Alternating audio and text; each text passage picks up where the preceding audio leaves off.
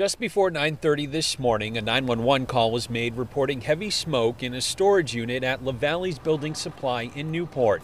Moments later, this is what firefighters pulled up to. When our first truck arrived on scene, we had really heavy smoke and some fire showing from this building.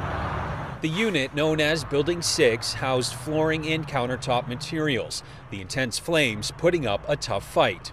We really had our hands full. Uh, mutual aid in this case was actually critical for us to be here for both water supply and manpower. The unit is now a total loss, just a pile of melted metal and charred wood. Building 2, which is behind that, has moderate damage. We were able to save most of that. And Building 1, which is the main office building right here, luckily was mostly exterior damage. A fire truck also received minor damage. One firefighter was taken to the hospital with injuries related to smoke and heat, but they are expected to be okay. LaValley's has been in operation since 1962. President and owner Larry Hewitt says he's never seen anything like this here before. We had a small fire several years ago, uh, but not nothing like this.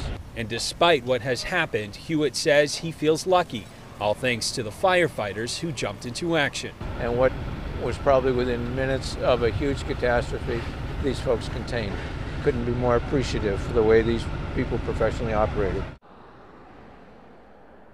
And now LaValley's was closed uh, for the rest of the day today, but its owner says this will not slow them down. They are expected to be open again tomorrow. Reporting live here in Newport, I'm Tim Callery, WMUR News 9.